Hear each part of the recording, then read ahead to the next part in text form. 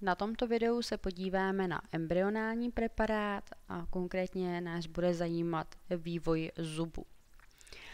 Máme zde vidět základ jazyka uvnitř eh, dutiny ústní, tady máme vidět jazyk a zde je vidět eh, několik základů zubů eh, od stádia pupené, které máme vidět úplně takhle napravo, tak, takové to časné stádium, tady je potom stádium čepičky, které přichází ve stádium pohárku nebo zvonku.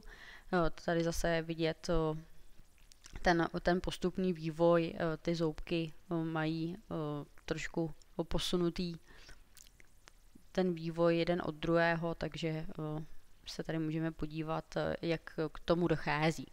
Takže stádium pupené, tady je čepička a stádium zvonku, kdy se podíváme na to, na to stádium zvonku trošku detailněji.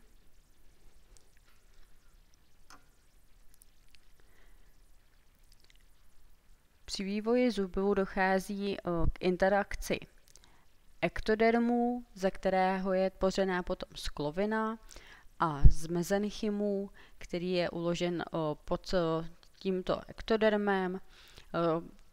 Ovlivňují se navzájem. Ten mezenchym indukuje vznik té skloviny, činnost těch amyloblastů, o kterých budeme mluvit, a zase ten, ty buňky toho amyloblastu ovlivňují Eh, ten mezenchym, aby se kondenzoval a diferencoval, diferencoval se v odontoblasty. Takže pojďme si to popsat. Eh, tady prochází zubní lišta a tady máme eh, vidět diferencované buňky z ektodermu. Tady v té vrchní části nacházíme buňky zevního skloveného orgánu. Tady, tady máme vnější vrstvu skloveného orgánu. Tady máme vnitřní epitel skloveného orgánu. Tady ty buňky se později diferencují v preamyloblasty a v amyloblasty a produkují tedy potom uh, samotnou sklovinu. Produkují pod sebe, takže ty buňky se potom posouvají, posouvají a až potom dojde k prořezání zoubku. Mezi tou vnější a vnitřní vrstvou skloveného orgánu nacházíme retikulární epitel. Podíváme se na ty buňky retikulárního epitelu. Tady vidíme eh, jejich eh, jádra, mají spoustu výběžků, kterými se spojují, produkují retikulární vlákna. S takovýmto epitelem se setkáváme akorát eh, tady v tomto případě a u dospělého člověka v tymu. Jinak se v lidském těle nevyskytuje. Takže takovýto rozvlákněný retikulární epitel.